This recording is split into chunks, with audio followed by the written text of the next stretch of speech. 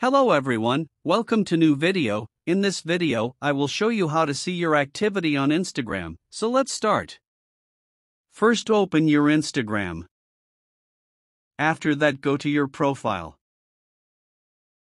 Now tap on this three lines. Then go to your activity. Now you need to tap on time spent. Now you have all your activity of this week. One blue candle is one day, and when you long press it is show you your activity of that day, and that is it. So that is it for this video. If this video like you, leave a like and subscribe for more tutorial like this. Goodbye.